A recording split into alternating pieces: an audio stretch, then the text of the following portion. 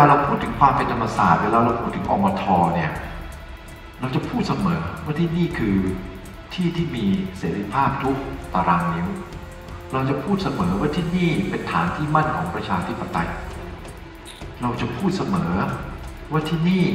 คือบ่อน้ำสำหรับผู้ที่กระหายความรู้คำถามคือ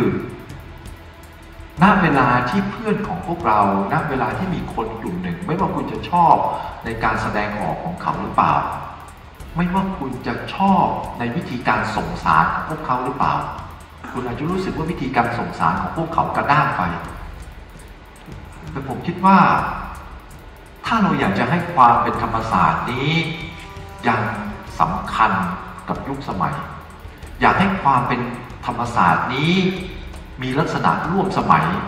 ไม่ใช่เป็นเพียงคำขวัญที่แปะอยู่บนกำแพง ความเป็นธรรมศาสตร์นั้นต้องเป็นการกระทำ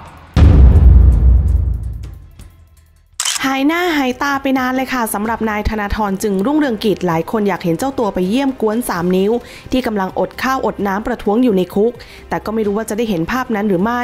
ล่าสุดนายธนาธรไปโผล่บนเวทีเสวนาครบรอบ 50 ปี ในฐานะอดีตอุปนายกองค์การนักศึกษา มหาวิทยาลัยธรรมศาสตร์หรืออมท ภายใต้หัวข้อ แกนนำทางการเมืองเพื่อประชาธิปไตยเพื่อประชาชน โดยนายธนาธรได้ขึ้นกล่าวพร้อมฉายภาพสมัยที่ตนยังเป็นนักศึกษา เป็นภาพที่นั่งประท้วงหน้าทำเนียบรัฐบาล ร่วมกับนายชัยธวัฒน์ตุลาธนหัวหน้าพักก้าวไกล ซึ่งเรื่องราวในวันนั้นคือการรวมตัวเรียกร้องของกลุ่มสมัชชาคนจน มีโครงการขนาดใหญ่ของรัฐทำให้ประชาชนต้องสูญเสียชีวิต เสียธรรมชาติ และไม่ได้รับอะไรกลับคืนมา และรัฐบาลในขณะนั้นใช้ความรุนแรงในการสลายการชุมนุม นายธนาธรบอกว่าผมเข้าเรียนที่ธรรมศาสตร์ ผมรหัส 40 ปี 1ทำกิจกรรมทางสังคม และปี 42 ผมเข้าเป็นอุปนายกอมทและในปีเดียวกันผมก็รับบทบาทรองเลขาธิการสหพันธ์นิสิตนักศึกษาประเทศไทย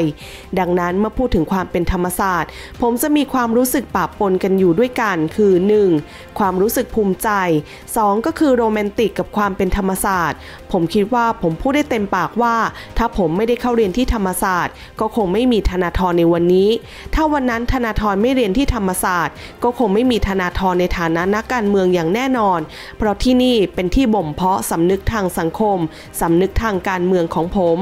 ปีนี้เป็นปีที่ 6 ที่ผมเข้าสู่เส้นทางทางการเมือง นักกิจกรรมที่อยู่ที่ธรรมศาสตร์ทุกวันนี้ ก็ขับเคลื่อนสังคมในรูปแบบที่เปลี่ยนแปลงไปต่างจากผม และผมก็เฝ้ามองและติดตามการเคลื่อนไหวของกลุ่มคนต่างๆ ด้วยความชื่นชม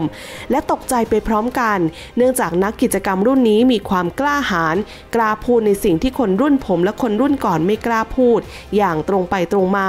กล้าพูดถึงความจริงอันกระอักกระอ่วน กล้าพูดถึงการปฏิรูปสถาบันพระมหากษัตริย์ ในที่สาธารณะอย่างเปิดเผย ซึ่งนั่นเป็นสิ่งที่คนรุ่นผมและคนรุ่นก่อนหน้าไม่มีใครกล้าทำแม้สิ่งที่นักกิจกรรมถูกกล่าวหาว่าเป็นการกระทำที่กระด้างกระเดือง เป็นการกระทำที่หยาบและทำร้ายจิตใจคนจำนวนหนึ่ง แต่ก็ต้องยอมรับว่ามันเป็นลักษณะของคนหนุ่มสาวทุกยุคทุกสมัย ที่มีความขบฏในตัวเอง มีความกล้าในการตั้งคำถามต่อระบบคุณค่าของสังคม ที่ไม่สอดคล้องกับโลกปัจจุบัน ตั้งแต่ปี 63 ถึง 67 มีนักโทษทางการเมือง 1,957 คน มีคดี 112 จำนวน 268 คน คดี 116 จำนวน 150 คน ฝ่าฝืนพรกฉุกเฉินจำนวน 1,469 คน ฝ่าฝืนพรบชุมนุมสาธารณะจำนวน 179 ฝ่าฝืนพรบคอมจำนวน 199 คน ละเมิดอำนาจศาลหรือดูหมิ่นศาลจำนวน 77 คน และขณะนี้มีคนอยู่ในห้องขัง 42 คนคนเหล่านี้ไม่ใช่อาชญากรและไม่ได้ทำร้ายใคร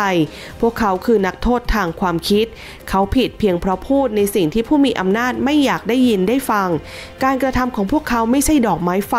แต่คือไฟลามทุ่ง และพาสังคมไทยไปถึงจุดที่ไม่เคยไปมาก่อน สิ่งที่พวกเขาทำทำให้สังคมตั้งคำถาม พูดคุยแลกเปลี่ยนถกเถียง ในเรื่องที่ครั้งหนึ่งไม่เคยมีใครคิดว่า จะพูดได้ในที่สาธารณะอย่างเปิดเผย เวลาที่พูดถึงความเป็นธรรมศาสตร์และอมท มักจะโยงถึงการเป็นฐานที่มั่นของประชาธิปไตย และเป็นที่ที่มีเสรีภาพทุกตารางนิ้ว ผมคิดว่าหากอยากให้ความเป็นธรรมศาสตร์นี้สำคัญกับยุคสมัย และมีลักษณะร่วมสมัย ไม่ใช่เพียงคำขวัญที่แปะอยู่บนกำแพง